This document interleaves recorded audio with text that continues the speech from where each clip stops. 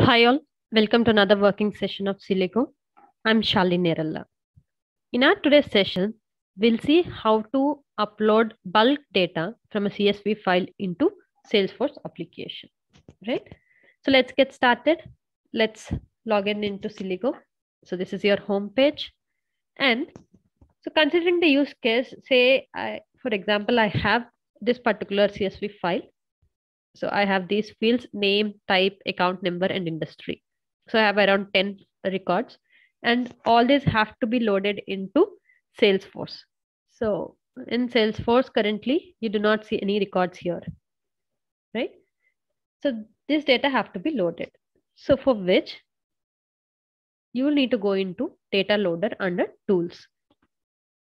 So let me name this as Salesforce bulk data load. And I'll configure the data loader. We are, I'll say this as Salesforce bulk load export. And the file type is CSV file. And we'll have to choose the file account load and you need to provide the uh, column delimiter, which is comma. The file has header, right? So let's now preview this. So this is the preview data. And here you have options to group, sort the records, and further options like page size, file encoding, etc. So for now, I'll just save and close this. So our source is ready. Now let's set up the target. So here I'm going to select Salesforce and I'll select the connection. So just say next and I'll give the name for this Salesforce bulk load import and one to many no. So the Salesforce API type recommended SOAP and the object type I'll select account and I'm going to insert the data, right? So then save. So now we have configured the source and the target. What we now have to do is we need to do the mapping.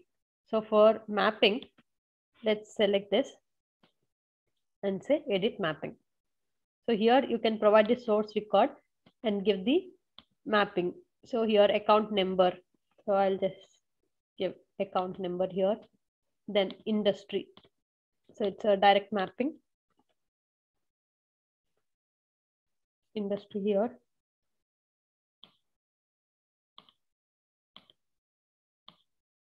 And name,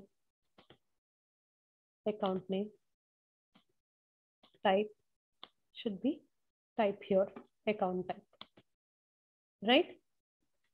So here, uh, as you know, like if you're looking for any complex mapping, you can provide them using this, right?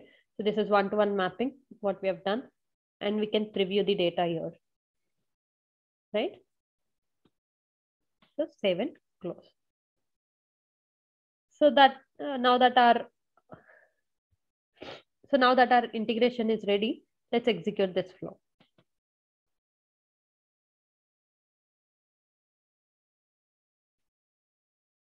The starting point is always the export, which gets the data from the source and import loads the data into the target. So we see both of them successfully completed. So let's now see if we have data in Salesforce. I'll go here and say go. And here you can see account 1, 2, 3, 4, 5, 6, 7, 8, 9, and 10. So we have all the records loaded into Salesforce. So that's how we load bulk data into an application?